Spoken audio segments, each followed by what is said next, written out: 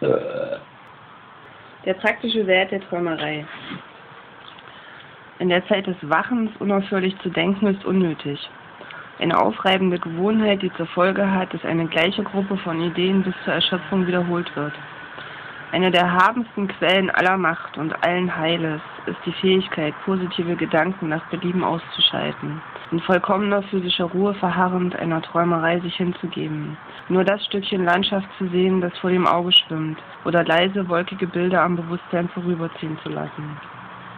60 Sekunden der Träumerei sind 60 Sekunden lebendiger Ruhe für Leib und Geist.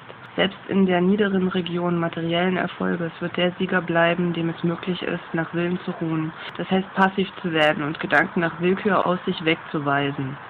Er hält die Züge des Lebens, denn in den Momenten der Versunkenheit öffnet sich das Tor für neue Ideen, Pläne und Unternehmungen, die dann im wachbewussten Zustande, still und zäh festgehalten, ihm die Erfüllung und die Realität bringen.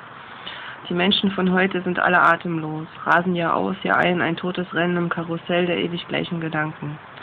Wie könnten sie in diesem abgehetzten Zustande auch nur fähig sein, Gelegenheiten wahrzunehmen, die auf ihrem Wege liegen? Und wenn sie sie wahrnehmen, fehlt der Mut des spannkräftigen Zugreifens. Sie tun heute genau das Gleiche wie gestern, und nur weil sie es gestern taten. Sklaven ihres eigenen Gemütszustandes, der sie an Ketten stärker als Stahl niederhält, im Banne immer gleicher jagender hündischer Gedanken.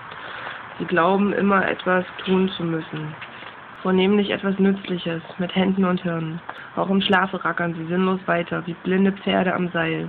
Ihr Erwachen ist ohne Frische. Der Schlaf ist ihnen nicht das Lebenselixier wie denen, die eine Kultur des Träumens besitzen oder der Versenkung, Konzentration, wie immer man es nennen mag. Auf Seereisen werden die rastlosen Barbaren durch alle Kabinen rasen, von einem Ende des Schiffes zum anderen, werden suchen, sie wissen nicht was. In der Eisenbahn beherrscht sie der ungeduldige Wunsch, so schnell wie möglich ans Ziel zu kommen. Sobald sie am Ziel sind, wissen sie nicht, was mit sich anfangen. In ihrem eigenen Heim wird unaufhörlich herumgewirtschaftet. Am Ende des Tages ist dann für wahren Vorteil und wirkliches Gedeihen fast nichts geschehen. Mentale Spannungen und wozu? Eine Maschine, die leer läuft, wenn keine Arbeit zu tun ist. General Grants Zigarre gewann ihm mehr Schlachten als sein Schwert. Ganz abgesehen von den Wirkungen des Nikotins erzeugt der Akt des Inhalierens, das Auspuffen des Rauches, die unwillkürliche Beobachtung der auseinanderschmelzenden Wölkchen schon die Stimmung der Meditation, den passiv verträumten Zustand, da der Geist nicht nur ruht, sondern neue Intuitionen empfängt. Tabak soll damit weder empfohlen noch verdammt werden. Er ist eines der vielen unvollkommenen Mittel, einen wünschenswerten Zustand herbeizuführen, der sicher auf anderen innerlichen Wegen dauernder und mit größerem Vorteil zu erlangen ist. Ein Weg aus vielen. Wer diese Seiten liest, halte ab und zu inne, lehne sich in seinem Stuhl zurück mit passiv herabhängenden Armen, ohne zu denken, drei, fünf Sekunden lang. Eine Wolke, ein Rauchsäulchen oder ein Baum, ein Ast, bewegt vom Winde, mag den Blick binden, solange es Freude bereitet, nicht länger. Wer auch nicht für fünf Sekunden physisch oder psychisch ruhen kann, und es gibt viele, die das nicht können, vermeide wenigstens allzu spastische, jäh nervöse Bewegungen. Er hat dann seine erste Lektion in der hohen Kunst der Träumerei oder mentalen Abstraktion genommen. Er hat seinem Leib ein Atom wirklicher Rast gegönnt. Sein Geist hat ein Atom lebendiger Kraft an sich gezogen, das nicht mehr verloren gehen kann. Wer die Rastlosigkeit eines ganzen Lebens zu besiegen hat, darf nicht gleich einen vollen Erfolg erwarten. Doch die Saat der Stille ist nun in ihn gesät. Dieser Gedanke wird ihn nicht mehr verlassen, doch er mühe sich nicht allzu sehr und zu absichtlich, ihn zu kultivieren. Alles muss und wird von innen heraus wachsen. Jeder Mensch vermag die harmonische Herrschaft über sich und seinen Leib bis in die fälschlich sogenannten trivialsten Akte des täglichen Lebens zu tragen, beim Aufstehen, Geben, beim Öffnen oder Schließen einer Tür, bei der Art, die Seiten eines Buches umzuschlagen. Wer in den Stunden des Wachens die kontemplative Stimmung festzuhalten vermag, wird auch bald einen erfrischenderen und gesünderen Schlaf erlangen, bestimmt doch die dominierende Tagesstimmung auch jene der folgenden Nacht. Schlaflosigkeit entspricht psychischer Zerfahrenheit, einem spastischen Gedankenkrampfe, der einen Menschen stundenlang wach hält, sich hin und her wälzend, unfähig einzuschlafen, mit Gliedern, die von Erschöpfung brennen. Mit der Kultur der Ruhe aber wächst der Wille zu einer Macht, die Schlaf oder absolute Passivität augenblicklich erzeugen kann. Nie aber soll man mentale Stimmung üben, wenn es unbequem oder langweilig erscheint.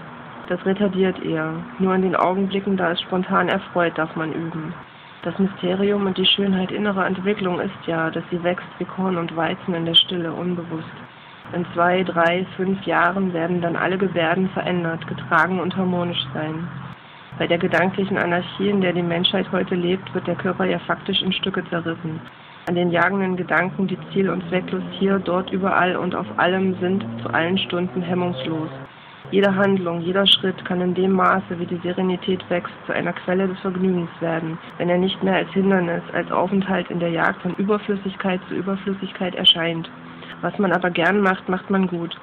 So setzt sich allmählich das ganze Leben aus vollendeten Elementen zusammen, von denen keines einreißt, was das andere aufbaut. Jede Einzeltat wird ein neuer Magnet, der sich verstärkt und Wunder würden wir nennen, was die Menschheit durch diese einfachen Übungen zu verbringen imstande wäre. Christus und Moses, alle Seher und Magier waren in der Ruhe. So akkumulierte sich in ihnen die psychische Kraft, die dann, auf einen Kranken konzentriert, diesen wie mit neuem Leben erfüllte.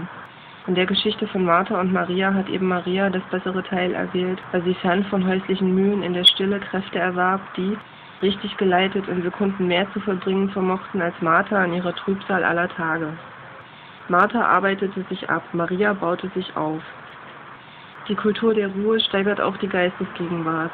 Geistesgegenwart ist doch die Fähigkeit, zu jeder beliebigen Zeit alles in sich zu mobilisieren, was man in Wissen, Tatkraft, Entschlossenheit und Takt besitzt. Die augenblickliche Präsenz aller Eigenschaften macht allein ihren Wert. Im ruhenden Geist aber sind sie konzentriert, jagen nicht zerstreut nach tausend Objekten. Die kontemplative Stimmung ist die ausgeruhte Besatzung der Gedankenfeste. Gehetzte, nervöse, daher stets ermüdete Menschen werden darum selten in irgendetwas exzellieren. Sie sind nicht Magneten, die durch Ruhe arbeiten, durch jede Tat stärker werden statt schwächer. Wer seine Kraft bewahren und seinen Geist ausruhen lassen kann, wird Nerven wie Stahl bekommen. Ein Fluidum wird von ihm ausgehen, das das unbändigste Pferd unter ihm gefügig macht. Mut ist wie eine magnetische Wolke, die nichts durchbrechen kann. Die Möglichkeiten, die hier liegen, sind unbegrenzt.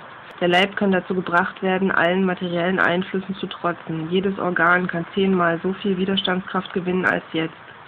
Träumerei kann, wie jede andere Fähigkeit, übertrieben entwickelt werden. Wie bei Menschen, die schlafwachend nicht mehr wissen, was ihre Körper tun. Ihnen mangelt die positive Kraft, nach eigenem Wollen zur Tat überzugehen, wenn Taten Not tun. Es muss ein Gleichgewicht hergestellt werden zwischen dem positiven und negativen Komplex der Kräfte. Der Mensch muss lernen, sich nach freier Willkür in den einen oder anderen Zustand zu werfen, wann, wo und auf wie lange es ihm beliebt.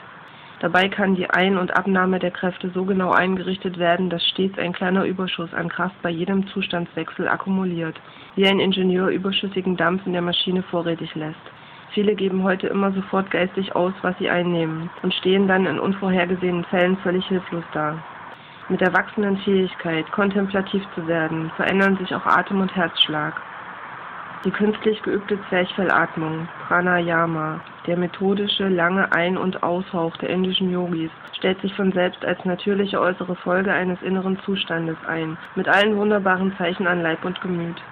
Es gibt ein seelisches Atmen, einen psychischen Rhythmus, dessen sichtbares Korrelat die Lungenatmung darstellt. Wer in dem Strome aufbauender Gedanken lebt, in der er Kraft der Träumerei einzutauchen vermag, ist befähigt, innerlich ein Element zu absorbieren, eine Atmosphäre, freier, mächtiger und lebensvoller als die Luft der Erde, das Prana der Inder. Aus diesem göttlichen Äther gewinnt der Mensch das Lebenselixier. Es wird ihm in der materiellen Sphäre ungeheure Kräfte verleihen, Taten des Lebens zu vollbringen, wo solche Not tun.